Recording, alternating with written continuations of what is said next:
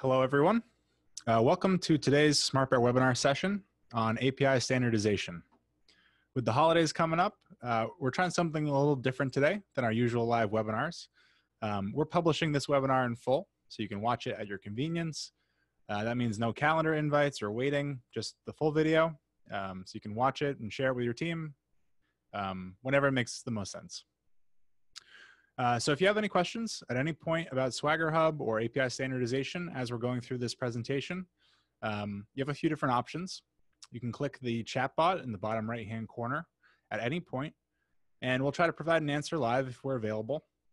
Um, if you have multiple questions or want to have a longer discussion about the tool, you can click below to schedule a demo session with one of our engineers.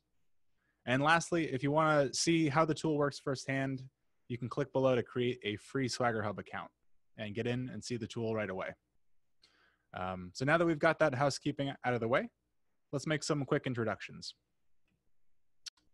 I am Patrick Londa. I'm a marketing manager here at SmartBear, and I work on uh, Swagger Hub and our virtualization tools.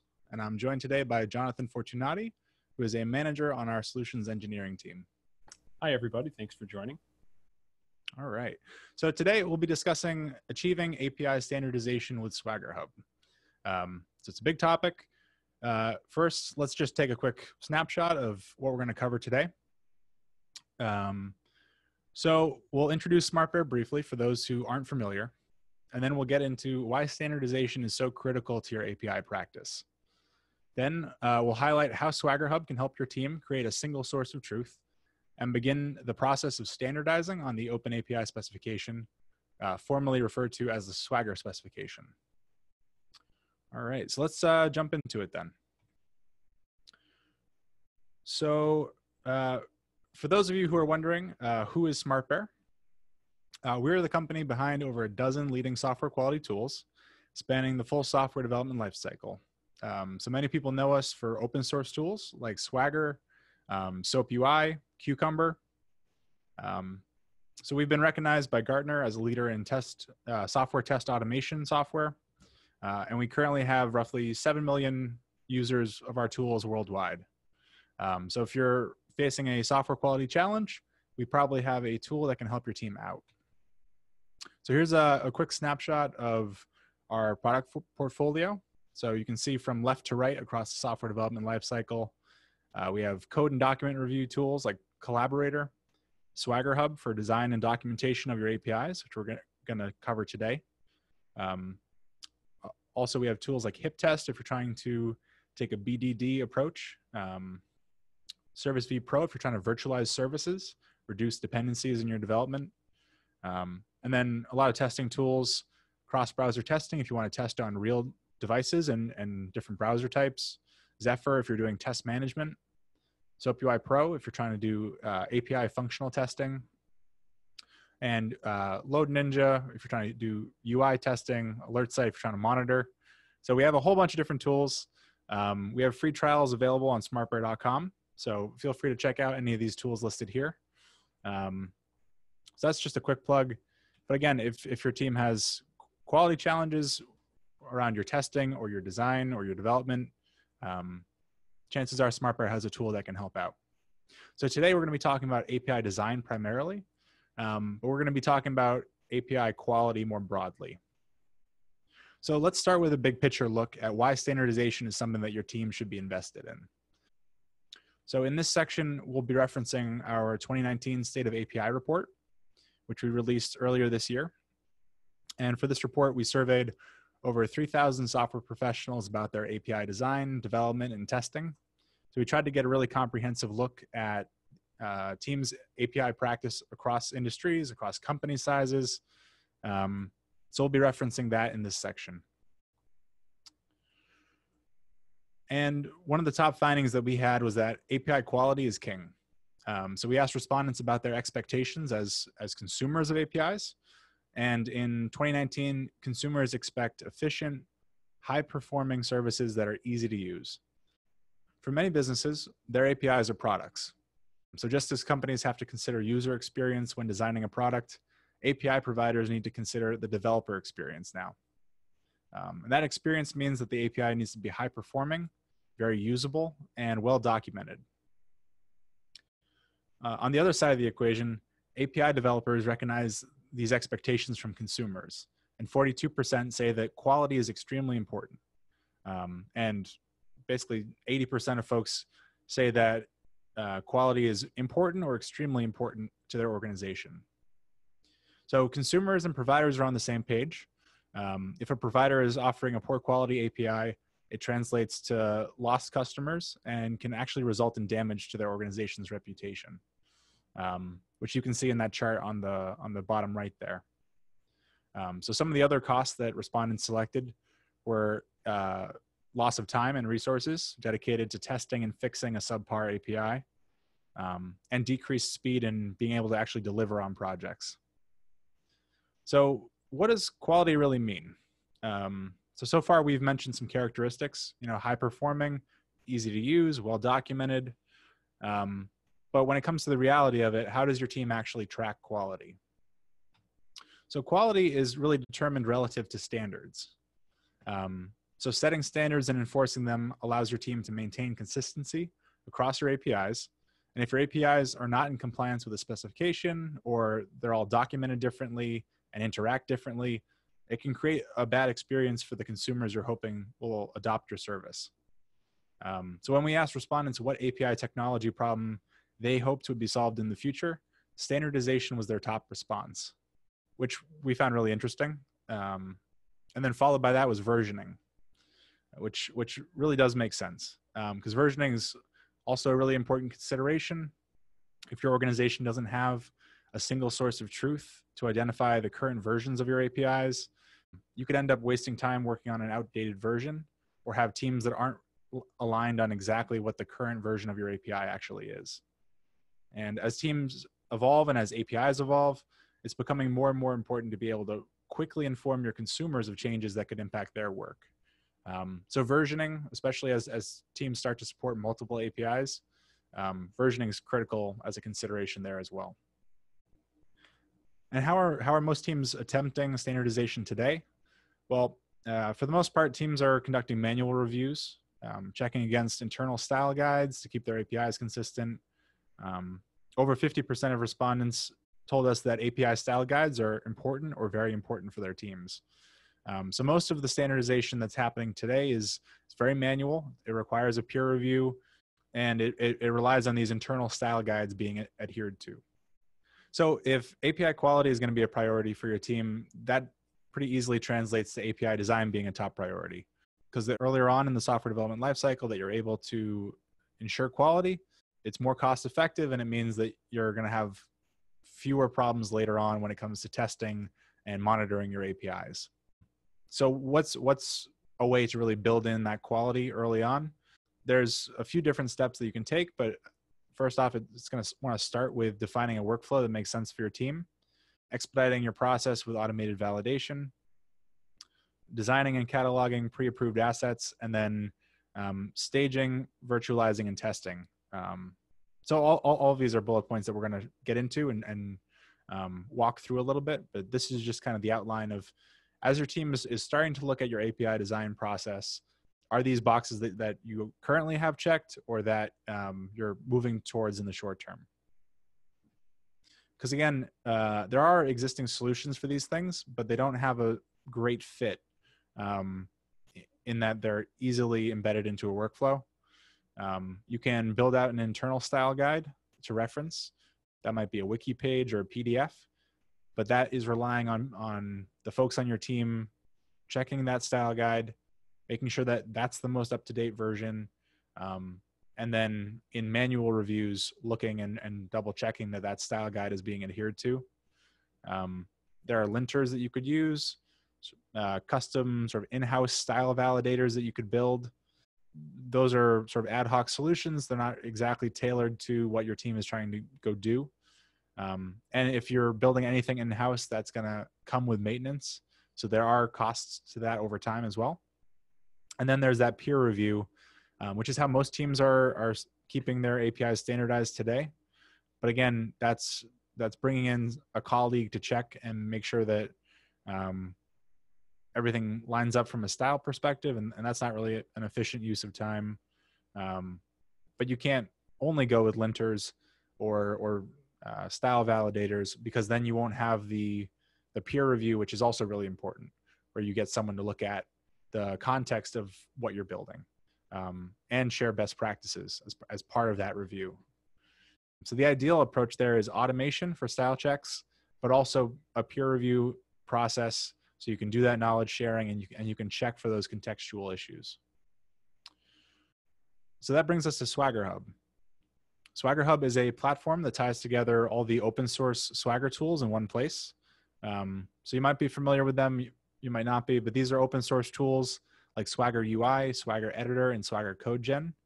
Um, these are all sort of individual tools that have been developed to help folks move their APIs towards the Swagger specification or the Open API specification um, and be able to generate interactive documentation and uh, SDKs as a result of that.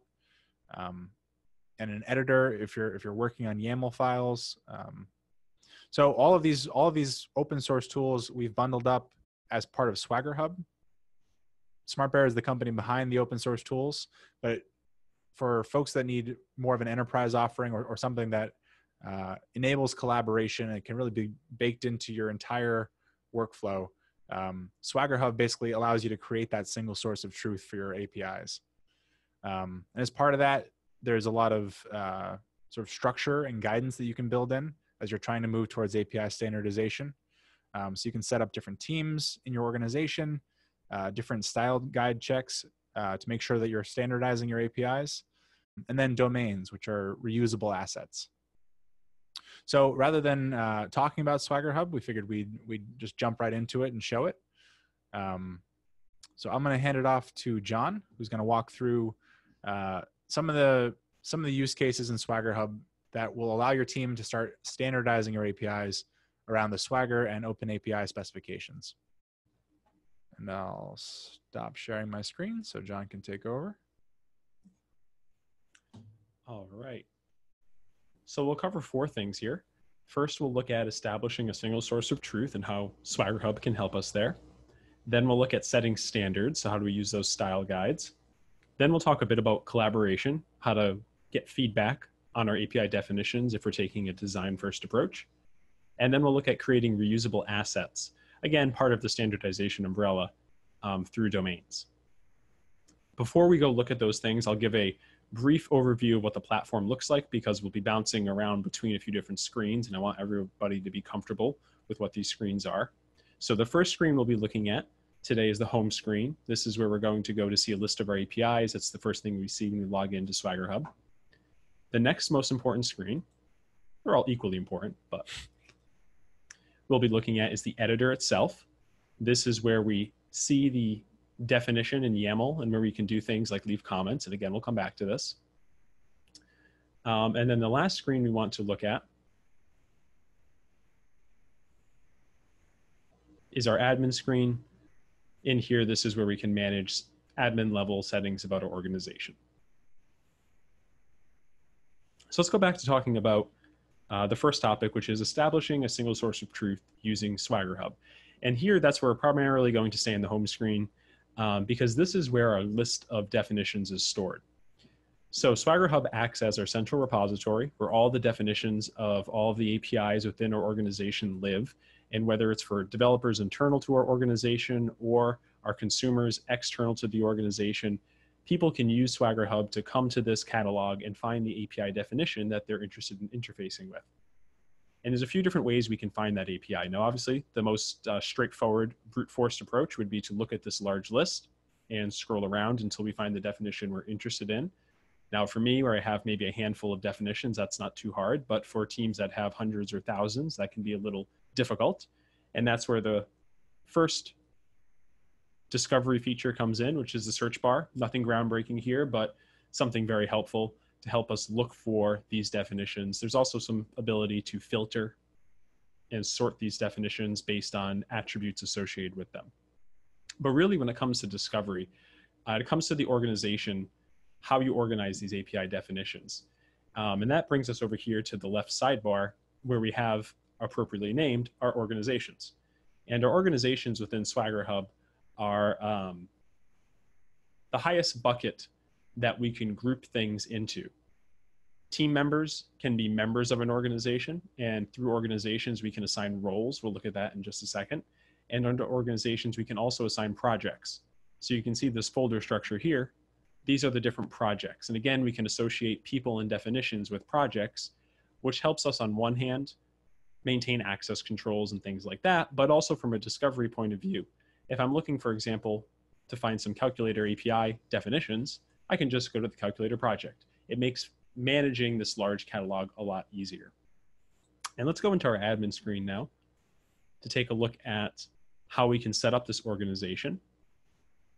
Here's where we can choose the different members of our organization. And again, there's a few different roles here. Some people will be consumers. These are the people who are just interested in finding our definitions and then just referencing the documentation so they can start to interface with them. Then we have our designers. And these are going to be people who are actually building out the definitions. They're making changes to the YAML file and updating the definition. And then finally, we have our owners. And these are going to be people who are just, um, they're admin like managers of the organization itself, adding new members, maybe deleting definitions, um, working within the organization as well. The other thing we can do here is build out teams. So we can create different teams and we can group people into these teams. And then we can use these teams to make it easy to share definitions. So if we go back to our projects, we can associate a team with a project. And then that means everybody who's on that team can now see all of the API definitions associated with that project, at least be able to see view only access to those definitions.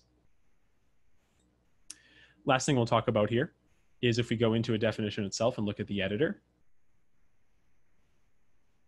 When it comes to discovery, as Patrick said, an important piece of that is understanding what version of the API you're working with. And we can see here that we're able to give different versions to these definitions and we can tag these versions as published or private. And this is important because we can show to our internal developers that if something is published, it's in a finalized state, it's read only. If something is public, that means anybody who can get access to the Swagger Hub instance. If it's SaaS, that means anybody with a Google, versus if it's on prem, that means you'd have to have access to your network. But if anybody uh, can get access to it, they can see that API, versus private, which means you have to be given explicit access to the definition. And if you make an API private, the nice thing about that is not only can you control access, but you can control how people access it. So if we look at our sharing options, we can see that we can give people the ability to edit, comment, or just view the definition. And we can do the same with teams. Again, leveraging those to make it easier to share and view these definitions. All right, so now that we've looked at establishing Swagger Hub as a single source of truth, let's look at setting standards. So we're going to go back to our definition or our organization's admin area, and we're going to look at the standardization section. So this is where, as an organization owner, I can come in and set guidelines that all of the APIs in my all API definitions in my organization must abide by. I can make these firm guidelines by requiring all of my definitions to abide by these rules, or I can make them soft guidelines by just flagging violations, but not necessarily requiring the violations to be um, to be fixed, to be rectified. And where these rules come from, these are based on best practices about what makes an API more consumable. A really great obvious example would be if you don't have a description. I don't know how to use this operation. And that's something that would make it hard for me to figure out how to use this definition. So if I'm selling my API as a service, that means people will be less likely to use my API versus a competitor's. We want to make these definitions as easy to use and understand as possible. Also for internal APIs, right? Making it easy to interface with the APIs that your team is building means you have less questions from other teams asking you how to build out this API, which means you have more time to focus on development. And now if we look at what the application of these rules looks like, let's head back to the editor.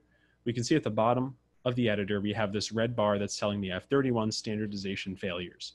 So in the background, Swagger Hub is linting this definition and telling me when I'm violating one of these rules. And we can see some of the rules down here alerting me so I don't have to do a manual inspection of the definition. I can have this automated and done for me, and then I can simply fix the rules. All right, now that we looked at standardization, let's look at the process of collaboration and getting feedback from all of our stakeholders. And for this, we're going to stay right in the editor. Now, just to recap, we've talked a bit about sharing and collaboration. We've talked about how I can make my API private and I can send out and invite people to work on my API and give them different ways of accessing this particular definition. Some people may edit, some people comment, and others just view. If we look back at the definition itself, this is where people can come in and using the editor, change parts of the YAML definition here, add new servers, write out new descriptions, endpoints, things like that. And we can also leave comments on the definition. And we can resolve these comments to keep track of something if an action item has actually been taken.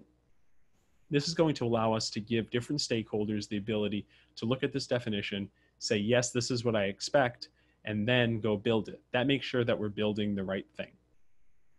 When the API definition is done, when people have agreed that, yep, this is the thing that we want to build, uh, especially again, if you're taking a design first approach, that's when we publish our definition. And now we'd start building from that point forward.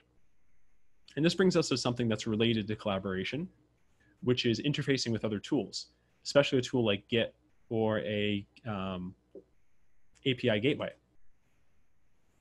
So for each version of my API, I can connect that to a different Git or API gateway. We have a number of different um, built-in integrations here.